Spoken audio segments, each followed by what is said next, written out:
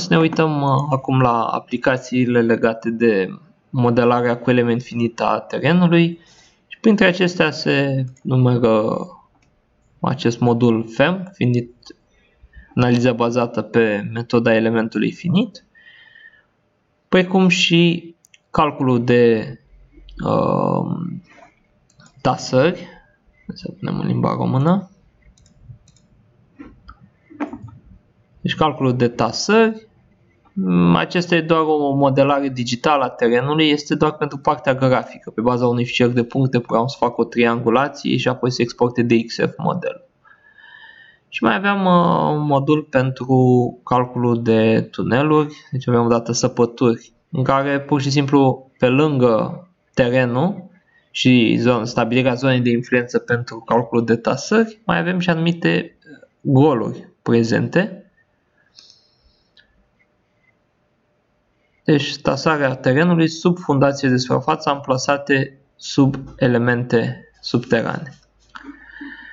Să ne uităm întâi la soluția asta clasică, FEM, că bănesc că asta, asta este chiar nucleul pentru celelalte, probabil cu un, fit, un input mai simplificat.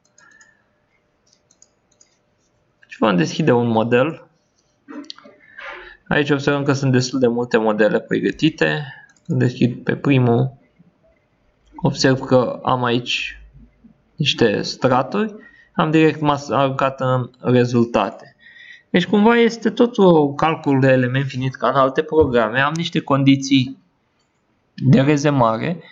Trebuie să-mi stabilesc cumva o zonă de influență. Aici pe etape. Să trecem chiar în etapa 1 în partea de top. Deci aici sunt diferite etape în funcție de încărcări și așa mai departe. Deci dacă vedem că sunt mai multe, trebuie să păcăm chiar din prima pentru a vedea cum am ajuns la acea poveste. Deci ce vedem este o rețea de element finit. Avem datele despre proiect, setări, pot să-mi aleg cum să își calculeze diferite, deci cu ce setări să lucreze programul, Uh, și după ce normativ. Acum ar fi bine să punem eurocodul pentru noi și model tensiuni geologice sau aplicarea procedurii CAO.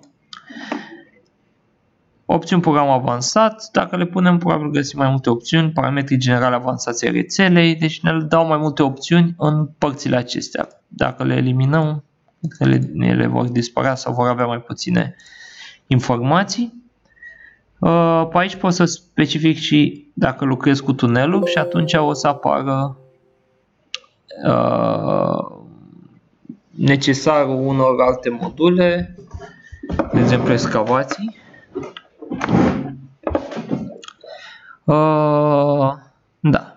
Momentan vrem fără tunel, dar să vedem ce face terenul și putem introduce în altă etapă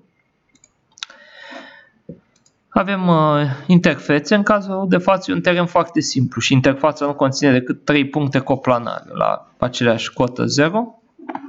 Pământul este atribuit un tip de pământ, în cazul acesta un sol 1 cu niște proprietăți. În general e bine să aibă un nume, solul nisip argilos e doar ca poză. Uh, o să-l las așa. Se pot amplasa corpuri rigide, cum ar fi ziduri de sprijin sau pot să pun o altă clădire sub solul unei clădiri care poate aduce o influență. Deci e cumva similar, tot pe bază de interfață se poate adăuga acel uh, corp rigid. După care am atribuit uh, solul și am niște tipuri de contacte sau uh, reazăme se pot considera, liniare, Acum ne uităm la rețeaua asta cu element finit generat automat și avem posibilitatea de a realiza anumite rafinări pe bază de coordonate în puncte, liniar și așa mai departe. După care, dacă ne ducem în etapa 1, e necalculată,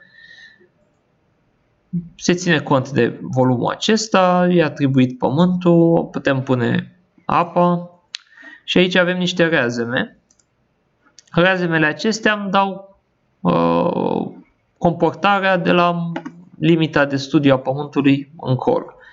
Adică am uh, rezume simple, care îmi blochează doar translația. O să și observăm aici. Zice că e fixat doar pe X, pe orizontală sunt blocate translațiile. Iar acesta este un reazum articulat pentru că îmi blochează translația pe X și translația pe Y. Este un calcul plan. Se pot completa cu elemente specifice și altor module, cum ar fi sprijinire, armări, uh, poziționarea unei supra-sarcini, regiuni elastice. Și acum dacă rulăm analiza, găsim starea de tensiuni. Bine, neavând nicio forță în etapa asta, evident nu, nu e decât încărcarea geologică. Și avem aici un concept de monitorizare, adică se pot aduce informații din teren, pe care să le specificăm într-un anumit punct ce grafic am obținut. Poate fi pe o zonă din iară sau uh, dacă le ad- să adaug grafic, că am aici un senzor,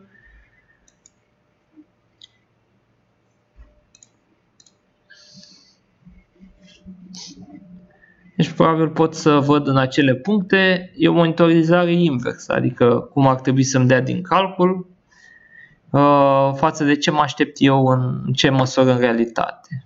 Avem și grafice de monitorizare. Și aici stabilitatea practic îl aruncă în modulul de uh, stabilitate. Dar cred că nu avem forțe. Ia să-i punem o suprasarcină. Adăugăm aici din text. Cărcare teren. Clădire. Pot să stabilesc o zonă și din ce punct.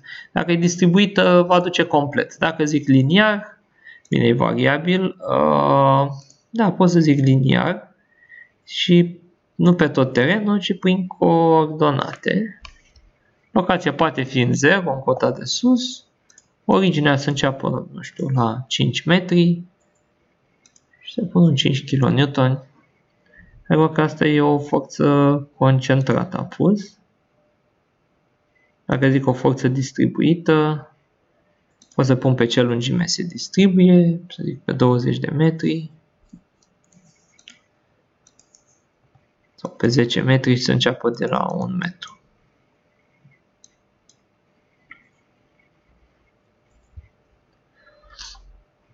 Deci începe din stânga. Deci dacă vreau să-l trag mai la stânga, cred că o să-i dau 10 metri aici. Sau... Ah, asta e lungimea de distribuție. Deci aici pe 10 metri s-ar distribui, iar x ar fi poziția. Dacă e față de centru măsurat sau față de 0 al uh, terenului.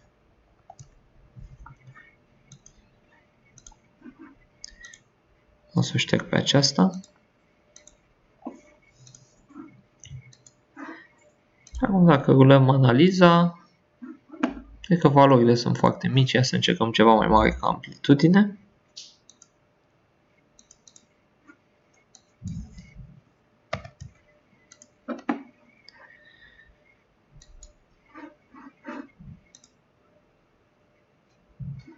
Se vede o influență. Acum și pământul poate e foarte bun. Dacă mă umblu și la pământ, să-l pun ceva mai moale.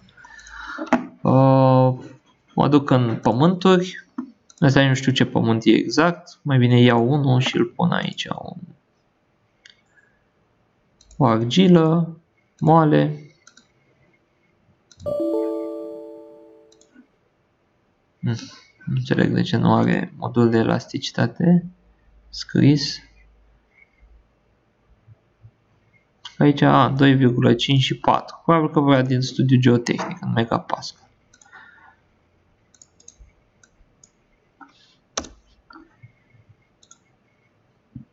Ok, și să o și atribui aici. Și vin în etapa 1 și să vedem cum se comportă. Da, nu e mare diferența. Aici forța este mică, e neglijabilă, Dar uh, ce vedem sunt uh, rătasări. Vedem uniform. Nu, sunt presiuni pe teren. Și se văd anumite salturi în zona în care avem uh, clădirea, sunt valori ceva mai mari pe masivul acesta. Monitorizarea dă, mi-ar da date în acele puncte enumerate de mine. Iar grafic cred că ar trebui să-mi dea uh, o secțiune ce trece prin acele puncte monitorizate de mine pentru care spun ce vreau. Tasarea pe verticală, în raport cu presiunea, de exemplu.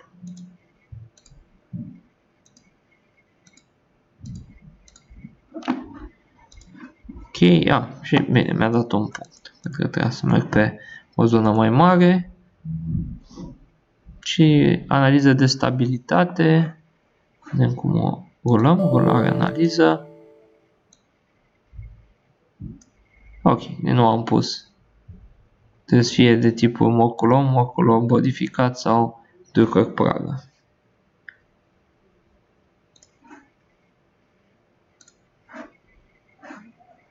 Ca lege de comportare.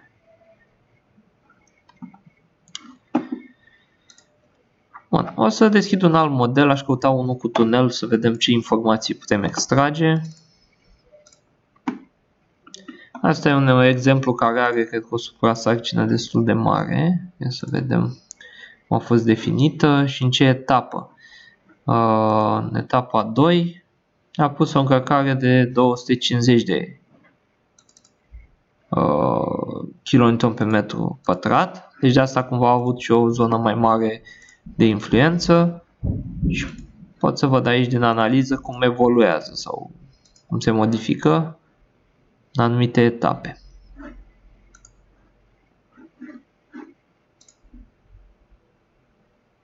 Bun, și pe acest model văd că face analiza, îi converge, e să fac o analiză de stabilitate cu element finit.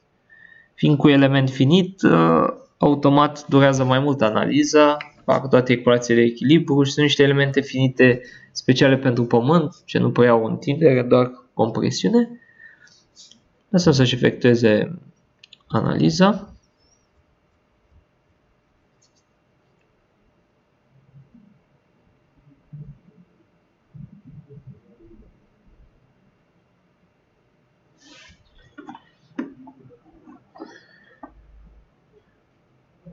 Și avem rezultate, analiza de stabilitate, el ar mai vrea niște iterații, avem factor de siguranță, el zis că este nerealist. Și aici văd că avem ceva de tip analiză seismică, cred că aplică niște forțe, niște accelerații, nu știu exact la ce se referă.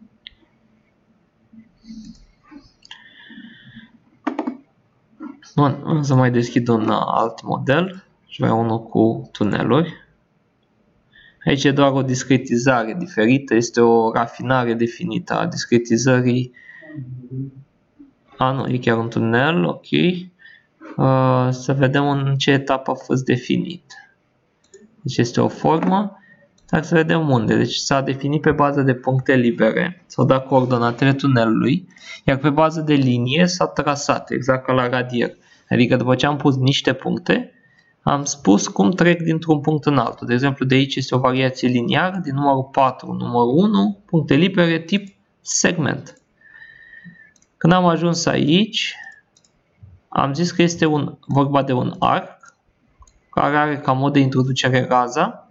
Avem punctul 1, 2 ca punct inițial, punctul 1, punct final și s-a introdus o rază cu orientare pozitivă. Sus, și așa s-a introdus curbura aceasta. Asta a generat elementul finit cu anumite discretizări. Nu dau seama dacă a făcut automat discretizarea în zona aceea sau că văd aici punctat și eu cred că este o rafinare a rețelei de element finit. Rafinarea punctelor, da. Deci s-a făcut o rafinare în jurul acestor puncte ce defineau uh, tunelul pe o rază mare de 12 metri la un pas de 0,2 și atunci s-a obținut acea rețea de element finit. Și în etapa 2 probabil avem și supra încărcările. Uh, dar să vedem încărcări pe grindă, nu? Trebuie într-una din etape, sigur există niște încărcări ca să rezulte. Sau bine, este încărcarea geologică până una alta. Asupra sarcină văd că nu este plasat nici în etapa 1, nici în etapa 2. Deci dacă rulăm o, aici analiza, probabil e fără suprasarcină, desigur putem pune noi o suprasarcină. Putem spune coordonatele, deci dacă adăugăm, pot să menționez uh, cum vreau. Poate fi inclusiv îngropată încărcarea aceasta, deci e un sistem XZ. Deci pot spune o încărcare care vine pe un radier sau la suprafață, zic distribuit pe teren. Să vedem dacă punem o, pe o zonă 1, pe o lungime de 5 metri, o încărcare mai mare, 100.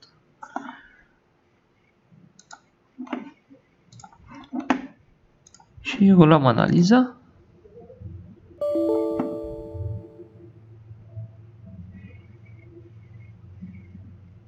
Da, ok. Trebuie întâi prima etapă, un calcul pe etape, în care poți să simulezi etapele de construcție sau diferite încărcări și abia apoi trec în a doua etapă. E cumva logic. Și la fel va fi un calcul cu element finit și văd influența. Uh, aici sunt în domeniul tasărilor. Deci văd uh, ca și văd tasările, dar pot să-mi aleg ce anume vreau să văd. Așa. Ok. Deci văd tasările și cumva cum se cum o influențează prezența acestui tunel. Monitorizare la fel să defini niște puncte pentru care programul îmi extrage, îmi va extrage datele în uh, documentația finală. Dacă ne uităm un pic pe aceasta, avem rețeaua de pământ, suprafețele și ca rezultate vedem sigma z în stadiul inițial, etapa 1 și apoi sub încărcarea definită de mine văd o distribuție de presiuni sigma z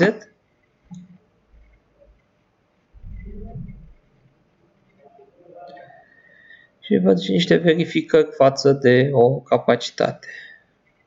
Avem și pe bază de puncte reacțiunile pentru condițiile acestea de margine pe care le-am dat, presiunea apei din pori, distribuția pe grinzi, grinzile sunt de fapt niște reazăme liniare aplicate conturului volumului de pământ, și în punctele definite de mine am valorile tasărilor. Deci dacă am niște tasometri în teren, pot verifica ce am în teren comparativ cu ce era în calcul în anumite puncte, ca să știu dacă sunt corelat cu partea de calcul.